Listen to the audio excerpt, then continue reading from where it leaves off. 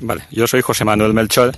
y estamos aquí en la quinta campaña que organiza la UGI en colaboración con el Ayuntamiento de Burriana en el Yacimiento de San Gregorio. Será una campaña corta de dos semanas por el tema de la climatología y estamos ampliando los resultados de Pascua, de la campaña que hizo el Ayuntamiento y del verano pasado. Se trata de descubrir dos nuevas habitaciones que ya teníamos indicios de que, de que estaban ahí y ampliar la zona de excavación hasta llegar a la línea de costa.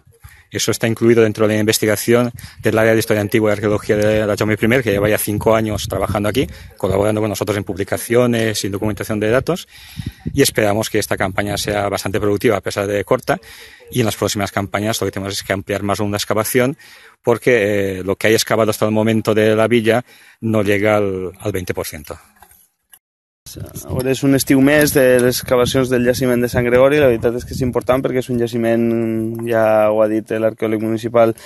eh, quasi únic així al País Valencià, és una villa romana que està al costat de la mar, que realment és una de les coses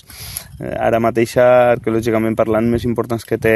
Borriana i que se té que anar fent a poc a poc, pues, perquè realment no n'hi ha la inversió que, que hauria d'haver per a, aquestes coses. I així,